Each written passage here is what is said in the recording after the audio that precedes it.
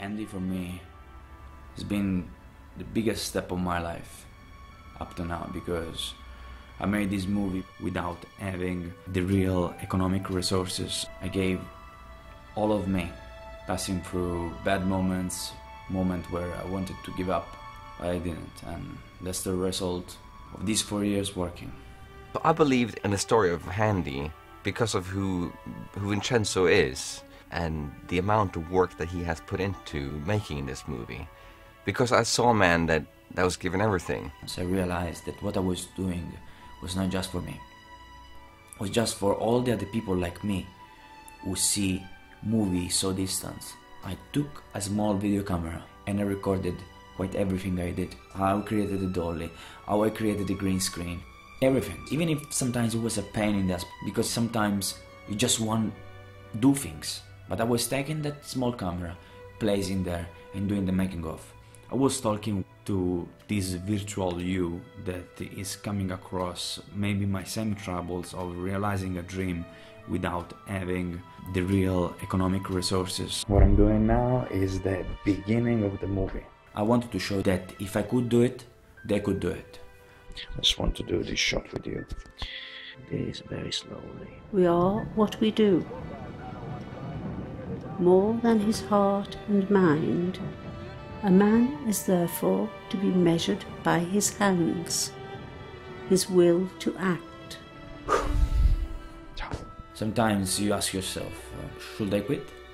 And I was not quitting for this. So when I met him, um, I saw a, a person that, that had the qualities to pull this off, or the stamina to carry it through, and the drivenness in a good way to actually make it happen. I saw a man that really wanted to do something great.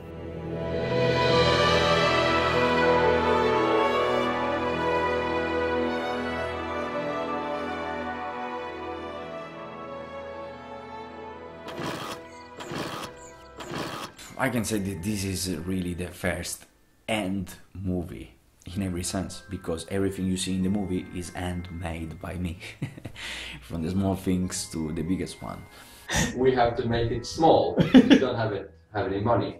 If we had money we would record a full orchestra. You have a pyramid? It's fast good and cheap. And you can use just two options.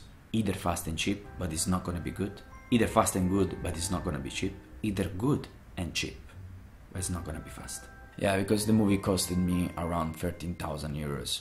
This money came from my awards that I spent on, and uh, my father and my mother financed me because they've been very supportive. Even because with such an original story, it was hard to convince people to believe in it. No one really want to risk on a young filmmaker at his first feature that it was never gonna be shot. The only way to shoot this movie was the way I did it, I think. Because I remember that I, for example, I didn't want to edit the movie but they asked me 50 euros per hour. So I said, okay, I edit. And I became the editor. For the visual effect, they asked me 65 euros per hour per day. And I didn't have money. And that's why I became the visual effect guy. I learned the skills. It's gonna take time, but I can improve on those things. And I think that uh, I can make it. I would definitely say that this film does not look like it's been done by, by one person. The things that Vincenzo has done and the skills that he has had to learn visual effects, filming, and it's just impressive. And it just shows the commitment that um, Vincenzo has had to to the, this story to make it as good as possible. And in this case, Vincenzo had spent so long time making uh, a sequence, it was very difficult to cut it down. But he was able to switch role uh, and see the movie as a whole and be able to cut it down. For the visual effects, I can say it was the hardest part of all. I had to remove pixel by pixel, frame by frame. Every second is 25 frames. If you think how long is the movie, you make the math of how much time I spent on the visual effect. I can only imagine the pain. You worked on this uh, special effect thing, you filmed it, planned it, and then you looking at it, it's like, it needs to go. His ability to change between different roles. He will no longer be the, the visual effects guy or somebody that would have a lot of interest. He would be the, the producer saying he has to go um, only to cut it out. And in future, I, will have more respect for the jobs of everybody because I will know that behind creating a set there is so much work behind creating costumes, there is so much love, you know. Behind uh, the editor, there is patience and their creativity, visual effects. You gotta understand that, and uh, cinematography, same thing. Probably good to have more people on board in the future, but this was um, was done the way it was, and probably had to be done this way. So my equipment was the camera, two garden lights, a dolly that I created, and a green screen, my hand, and me, and my computer. That's all I had, and I wanted to make it look good, like a big movie which was impossible practically. Andy started as a short film first, and the idea of Andy began after I won a short film competition at the Cannes Film Festival in 2008 with a little short film named The Flip Trip. I never thought that I could win. But even if I won that competition, I was not too happy about that short film because it shot in, in a bad resolution.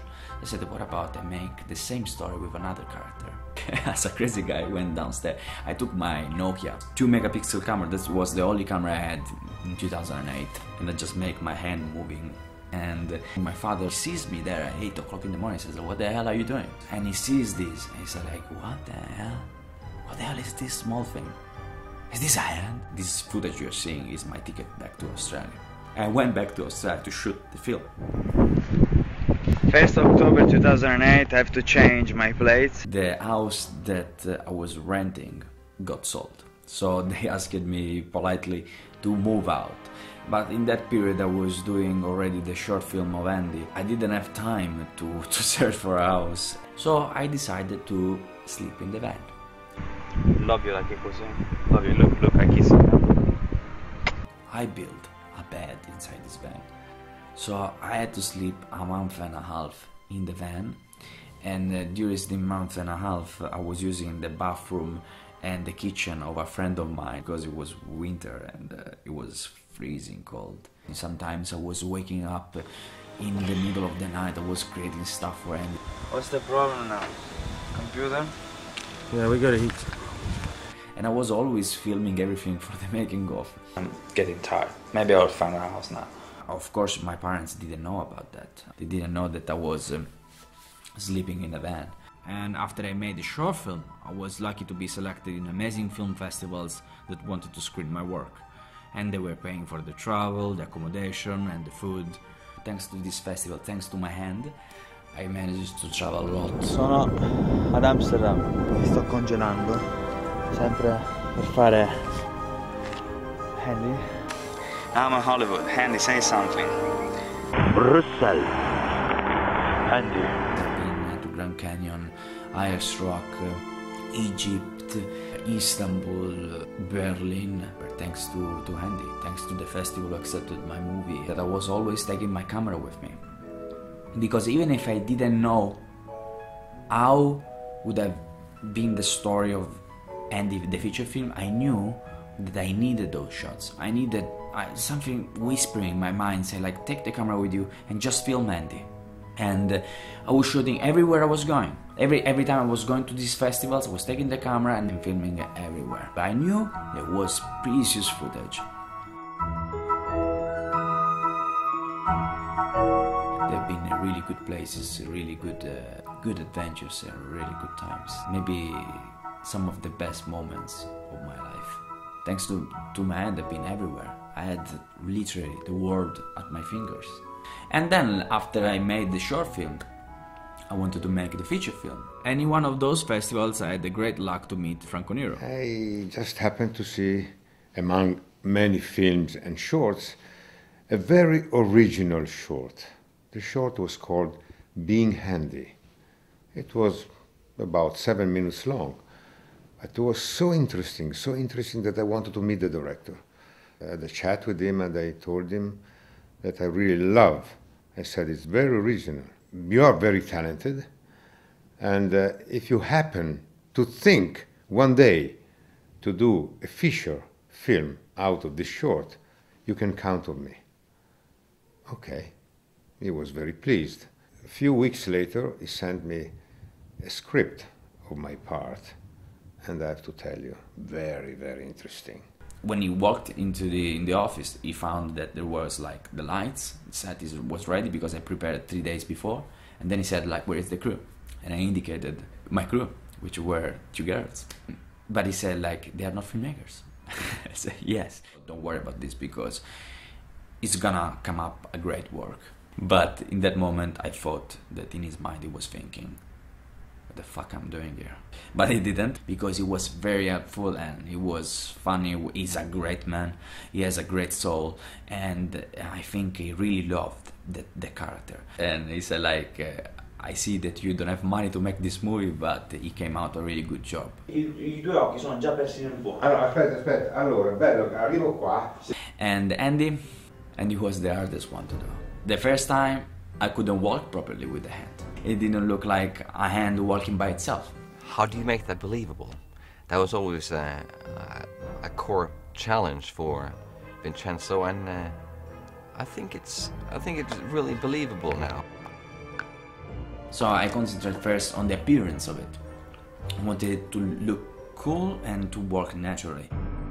I wanted that it could give emotion to people, and the only way was uh, behaving like a human, even if he was not a human.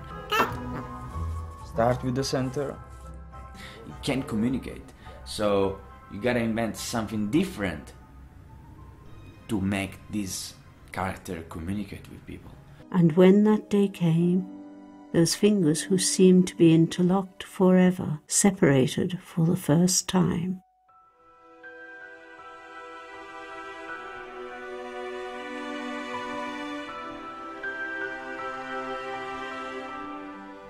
Just wanted to give emotion to people just moving the fingers because that the way a hand would communicate. Sometimes when I work on the on the music, I tend to forget that uh, we're we're dealing with hands here, because I think there there are emotions in the way that Vincenzo has portrayed it. Or like I was imitating that he was happy or like he was angry.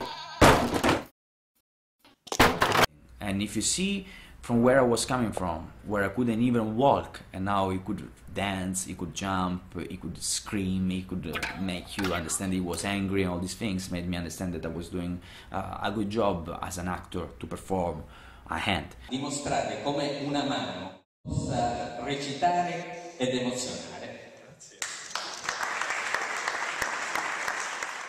and that's why took me a lot to do that. So if I can make a comparison in cartoons, I can say that uh, Andy was Pinocchio and I was Geppetto. I needed to give a soul to this uh, to this character. Otherwise, it was just a piece of wood. And uh, all the hands you see in the movie, the 95% of the hands, is my hand duplicated. I'm creating a character for each one of them. If you see every hand, even if it's my hand, behave differently between all the hands of the movie. He's been very good at developing different um, moves and different actions that is impressive. The only hand that I didn't play uh, was uh, manicure. And manicure was played by two great friends of mine. Actually, one was my ex-girlfriend, and the other one was Alessia Menta.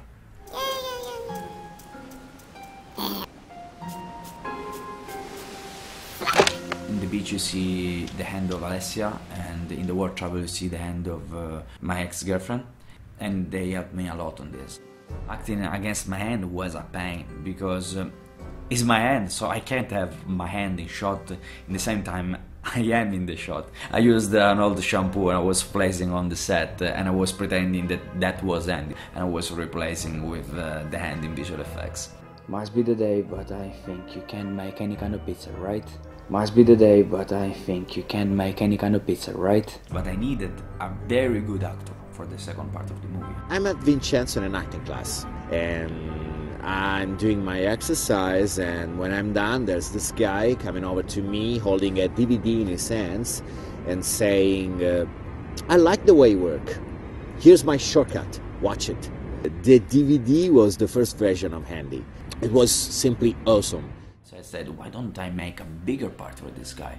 And I let him drag the story for the second part of the movie. And he said, Oh, thank you. And you know, now I'm writing the long version of Andy, uh, a feature film, and I want you. You want me? He loved the part, and uh, and then we worked on that. We worked on the accent, and we worked on the movement, we worked on everything. Do you like this accent? Yeah, I like. All the actors you see in the movie are my friends or family members. First of all, because I didn't have money to pay the real actors. I wanted them to be in the movie because it was my first movie and I was the producer and I said this is the opportunity. My first movie needs to be with the first friends I ever had. For the costumes, I had the luck to meet incredible woman, Mariuccia. She made quite all the clothes of Andy. She made the jacket, she made the jeans, she made uh, all sort of pants, all, and it was an incredible job. I have uh, great respect for what she did. The the jacket of the Top Gun, it was amazing, you know. And this summer, you will have just one choice. Top Bear. All the other costumes that you see in the movie, I did it. I did it through old gloves that I was buying in the cheap market. Then I was cutting here and there. It was really interesting to see how Vincenzo worked on uh, the costumes and sets. There was a lot of planning that went into it. And every time we met here in London, Vincenzo would go like, Ooh, I need to go to this shop here and this shop there and get this thing and that, that thing. And I can just get a sense of he has been thinking about this for a long time.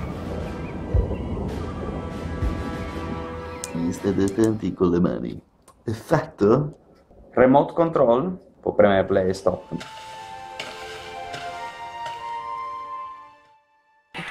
So I can just imagine the stuff that's gone into it. And it shows in the film.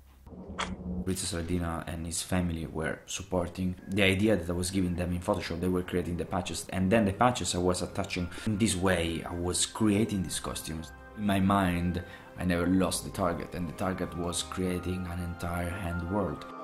I mini sacchetti. You gotta invent things from scratch. You, you have to find solutions. You don't know sometimes how to fix things. You don't know if you are gonna make it. But sometimes they were looking at me in a way like to say, You're wasting your time. This film is taking too much. You are always in front of a computer, you're always playing with modeling. Like if I was happy to do that. Like I was not happy. It was the only way to make this movie. Like I never asked actual help for the movie, you know? I always asked for support, for people who could understand what I was being through. And um, some of them just quit. I think they quit on me because uh, maybe it was too heavy to see me working this way.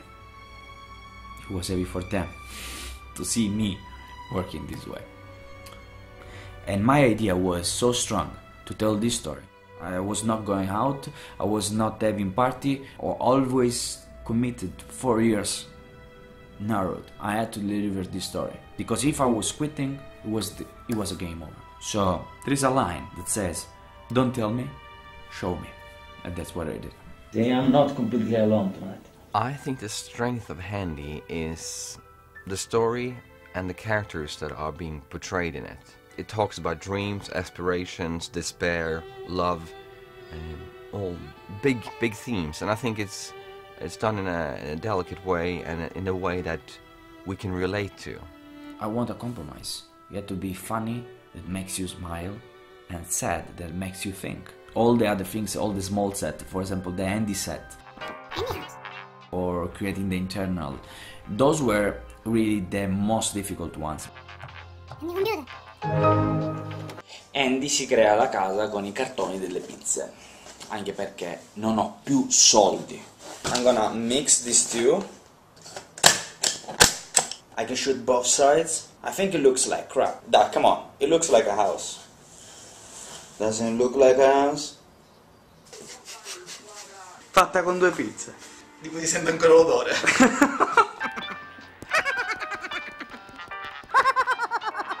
Is that thing working? You see the big set, and you see your crap ones. In fact, most of the scenes, the time I was writing, uh, they were amazing scenes. And then what?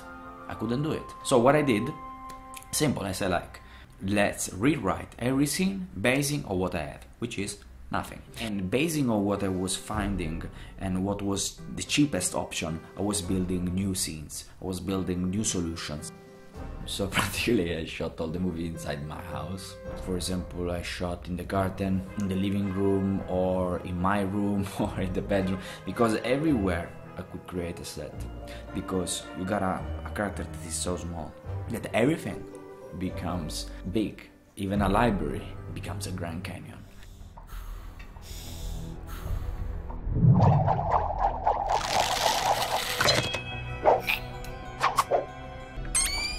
Most of the movie was shot uh, shot in Sicily because every time you go abroad, and I'm a Sicilian, I can tell you this. When you say I'm a Sicilian, they say, "Ah, mafia." It's not good. I think Godfather made a bad reputation of us. So I said, if I will ever make a movie, my first movie has to be shot in Sicily, from a Sicilian point of view, narrating a story that is different from the normal Sicilian story. I wanted to show that there is good here because every tourist who comes in Sicily loves this this land. We have amazing places, and I wanted to show this. I wanted to show the art of people. I wanted to show the amazing place where I live. It can be quite cartoony. But it works there because people Yeah. will laugh on that bit. Working with Vincenzo has been a real good um, learning curve for me. Um, he has a good balance of freedom and um, detail in the end. Music has started here again with the sad theme you made. I mean, I love that theme. So he he would give me a lot of freedom in when I was making the music. He wanted me to to tell the story the way I saw it with the music I would hear in my head. Boom, and he hits the portrait. Yeah, that is probably true. Very specific feedback as to this goes there and that goes there. 32 minutes and 14 seconds. Yeah. Drag the way it is. By doing this, you're helping me a lot. So it's been good to work with a director that really loves film music um, and knows how to communicate that. I wanted the music to be emotional and delicate.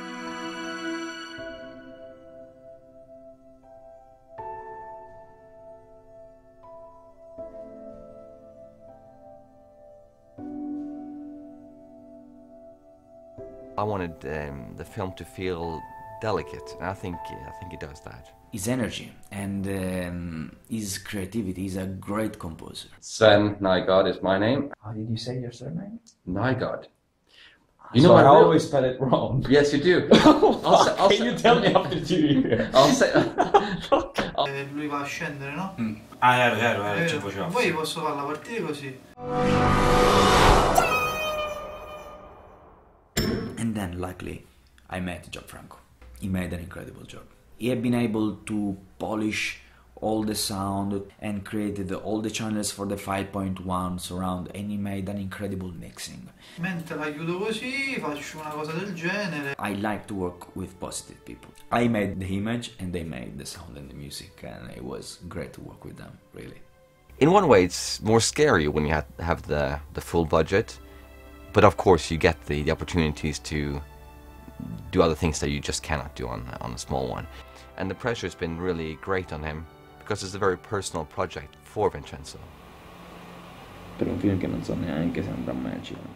I couldn't sleep because I had nightmares because I was you know once you set up on a path and you think that you're gonna make a movie in two years and then after two years you still are halfway through and you want to, to get out of this mess and uh, you walk and walk and walk and you find yourself completely in blackness It's like black tunnel. You keep walking all the time. you can't see what there is behind and you can't see what there is forward you don't know how far you went from the start and how far it's gonna take to end this tunnel you know you don't see any lights You can't go back because you already lost a lot of time, so you just have to move forward, you know? i just decided to close my eyes you know and say like uh, at least i decide to see blackness i wanted to show that if i could do it they could do it Sto facendo questo adesso. and then you know i managed to go through i remember the first time i saw like 80% of the movie in my hard disk and i said after all you, you've been through you're making it because when i look back i see a young filmmaker that uh, wanted to make this feature film and he was thinking to make it in two years, and it was fast and like everything. And then you see the last hundred meters, you see that you are on your knees, and you just want to end this. You just go slowly, step by step, seeing the light because I, I took so much and I renounced so to so many things. If I could explain to all the people, shot by shot, of all the story from the beginning to the end, I think I told most of my past and I saw most of my future while I was living in the past. I kind of predicted things maybe because I became Andy. Every character of the movie, there was a part of me. There was uh, that spark of the young Martini when he wants to be a writer and he's very happy. There was this craziness maybe of the old Martini. There was this dark side, but deep feelings of Frank the Black. Most of all, there was Andy. Um, the the way Andy was dealing with things, the way Andy was falling in love, the way Andy was not giving up, the way he was pursuing his dream, this need to communicate to the world what he had inside. I realized that I was in every character, but most of all, I became Andy. You end the movie, you look back and you see how many things you gained and how many things you lost in the process. I hope that I gave, uh, I can say, my my hand to somebody with this story, with this concept that uh, Andy did it, uh, you can do it, and uh, and sometimes you think, um, wow, people are gonna watch 100 minutes movie, and I spent four years on making it. You get a little bit sad, you know, but at the end it was like climbing Everest, and uh, I managed to put uh, all my life in 100 minutes, and I think this is a great achievement. Chao.